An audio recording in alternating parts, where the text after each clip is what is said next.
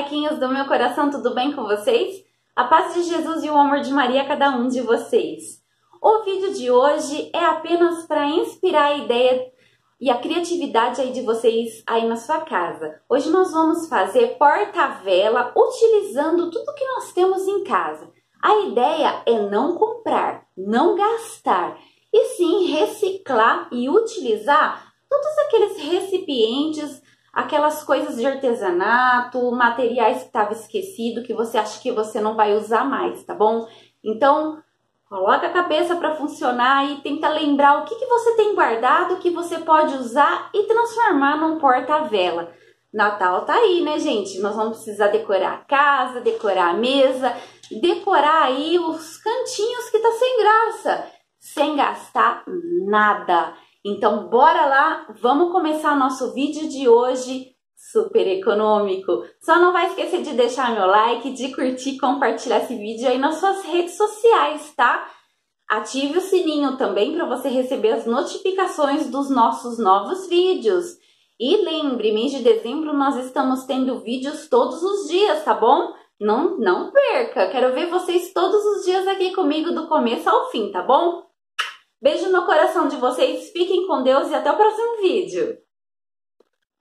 Bom, pessoal, para a gente montar os nossos, nossos porta-velas, a gente vai precisar das velinhas. Essas daqui eu paguei cinco reais. É, veio nove velinhas. Eu comprei no Xing Ling, é bem baratinha. Ela é de jasmim e é muito, muito, muito perfumada. E tem esse modelinho aqui também, ó. Que ela é uma bolinha. Você também encontra nessas lojinhas da China, que é bem baratinho. E aí, gente, o porta-vela pode ser qualquer recipiente que você tenha aí na sua casa.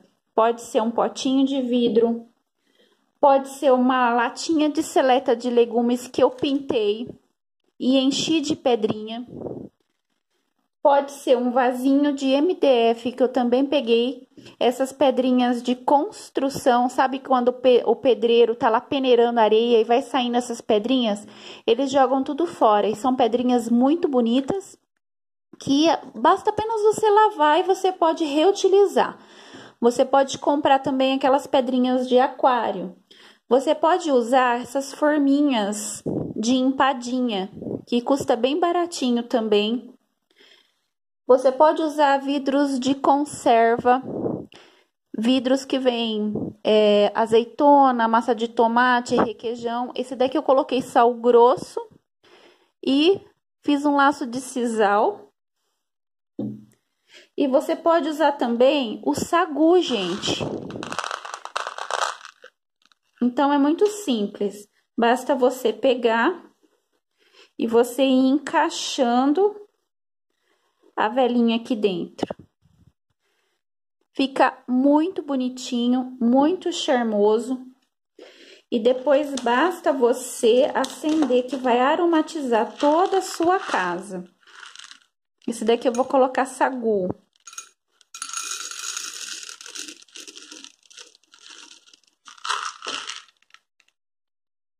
E tem velinhas coloridas também, viu, gente?